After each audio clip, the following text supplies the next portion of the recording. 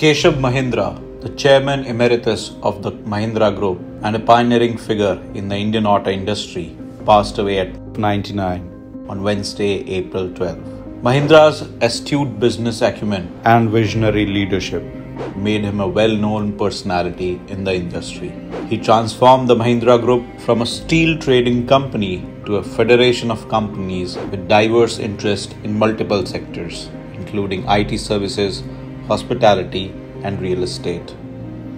Mahindra trusted professional managers to run his company, a legacy that continued after his retirement in 2012. During his tenure as chairman, he convinced the company's board that Scorpio was the company's future.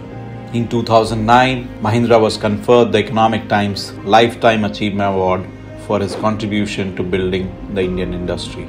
Industry peers mourned his demise. Anand Mahindra, his nephew and the chairman of Mahindra Group, called him a source of inspiration for the entire organization. Pawan Goenka, the former MD of Mahindra and Mahindra, described him as an icon in the Indian and international business community.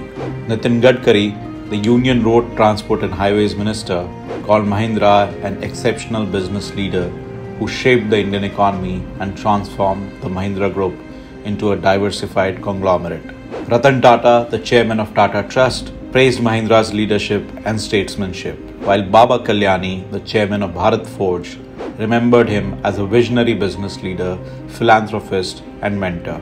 Mahindra's demise will end an era that bears testimony to the struggles homegrown companies faced in the pre liberalization years. Mahindra was skeptical of the economic reforms that opened up the Indian economy. A member of the so called Bombay Club, which opposed the liberalization of the economy, he later changed his views.